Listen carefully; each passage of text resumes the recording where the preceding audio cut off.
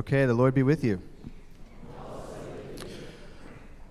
Living God, you become the real food that we need to feed ourselves, to share with others, and to know what it feels like to be alive. Thank you for this gift, for this opportunity to serve, and for this challenge. Please help us to keep your gifts of peace and love alive and growing. In Jesus' name, amen.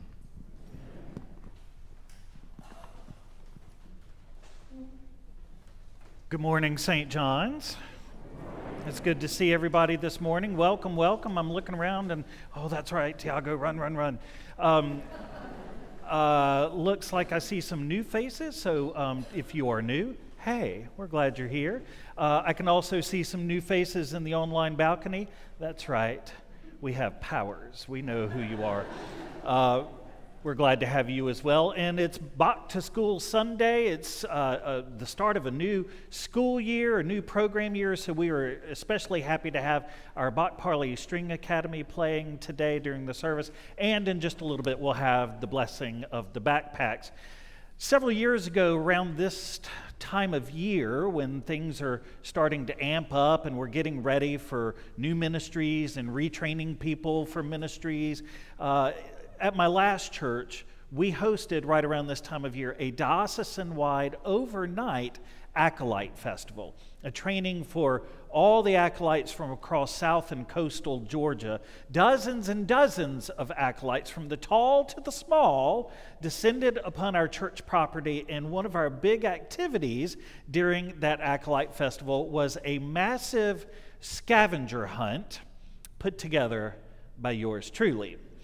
Now, in my planning, I wanted to come up with something that would educate all those young acolytes, to create friendships and fellowship among them, to train them in everything they needed to know about how to set the altar, how to swing the thurible, that's the thing with the incense, how to hold the cross if they were a crucifer, how to play with fire in church.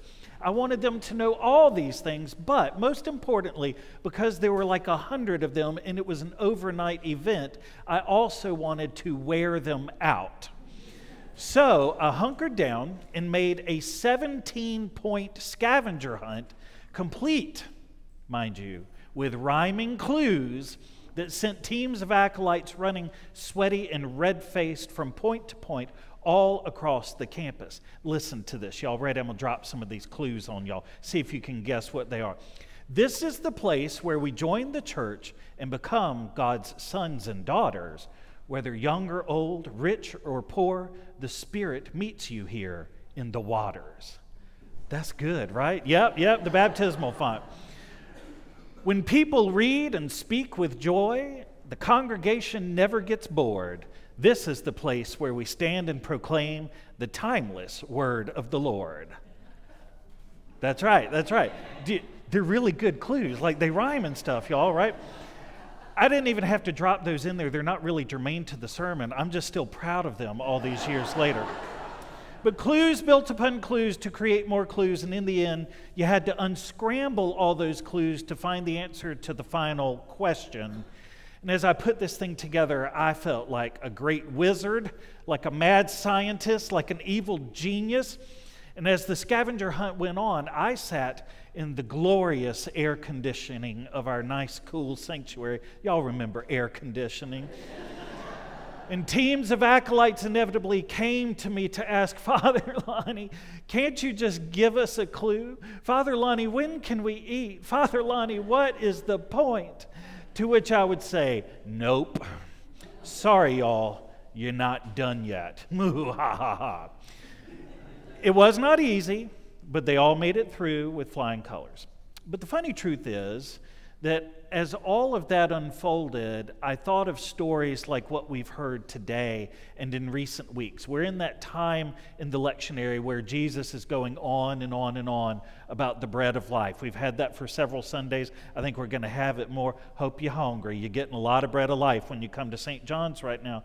But watching them run around and do all of that, it reminded me of some of the Old Testament stories that we hear as well, like the story of the prophet Elijah from the Old Testament today. When we meet up with Elijah, he is on the run.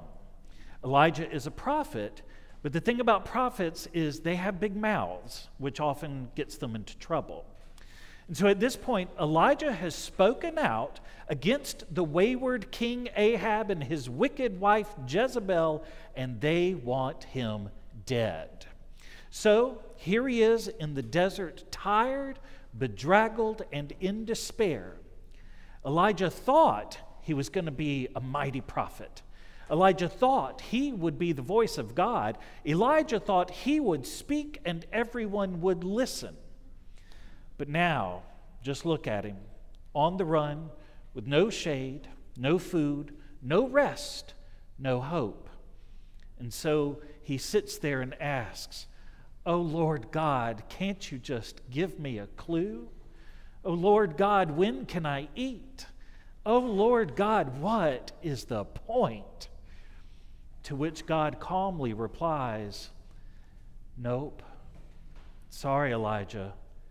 I'm not done with you just yet. And then suddenly, mysteriously, miraculously, bread and water appear before him to give him strength for the journey.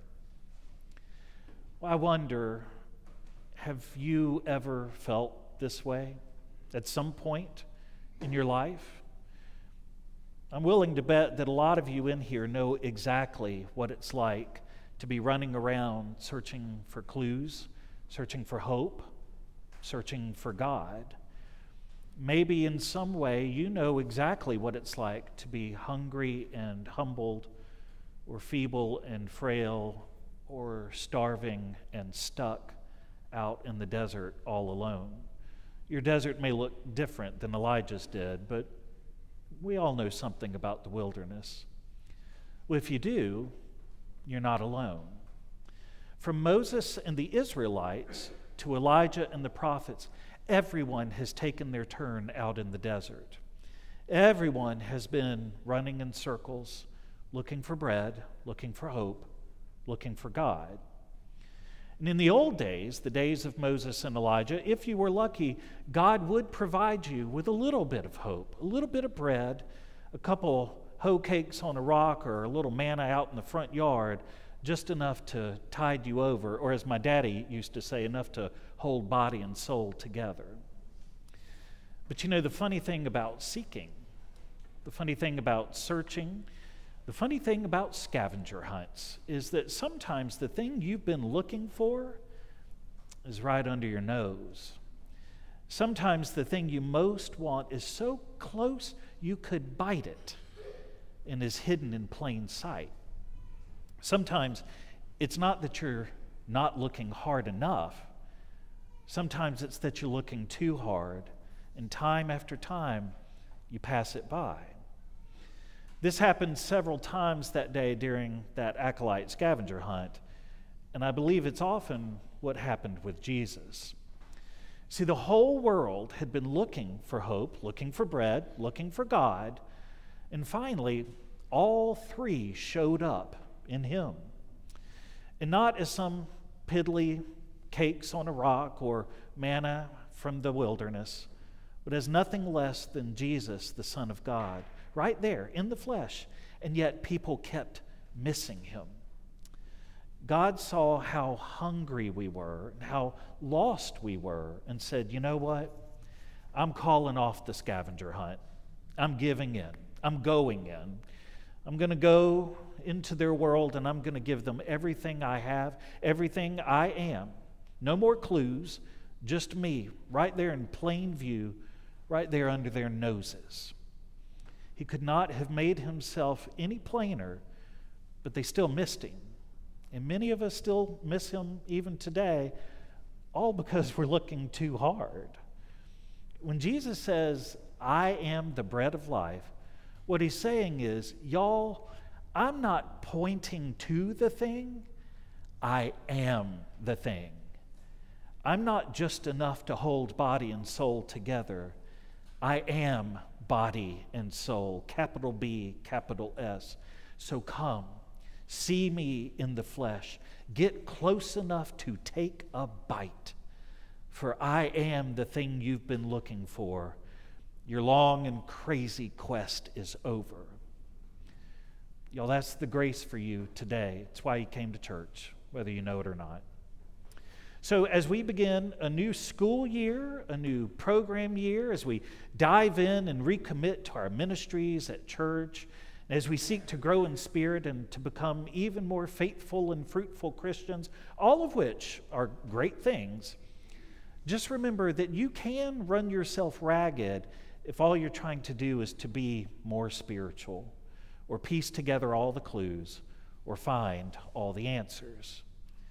Y'all, that rat race is over, has been for 2,000 years. He who was spiritual has now come in the flesh. He who was the clues has now become the answer and the prize. He who was hidden from our eyes is now in plain sight, close enough that you could bite him. The good news for you today is that you don't have to go searching for God anymore. God has already come searching for you. The hunt is over, y'all, and our God delights in what he has found in you. Amen.